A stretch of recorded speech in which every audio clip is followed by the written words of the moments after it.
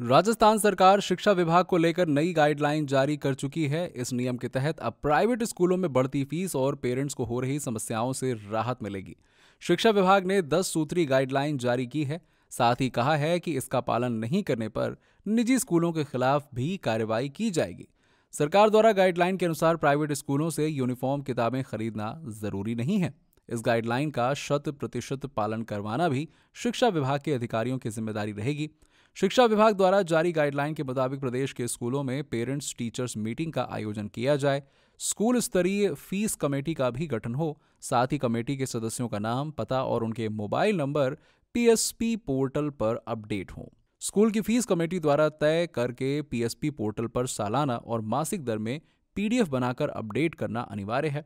School की fees committee द्वारा अनुमोदित फ़ीस के अलावा किसी भी अतिरिक्त शुल्क को वसूलना फ़ीस एक्ट के खिलाफ होगा। स्कूल प्रशासन द्वारा फ़ीस के नाम पर की गई वसूली नहीं की जा सकेगी।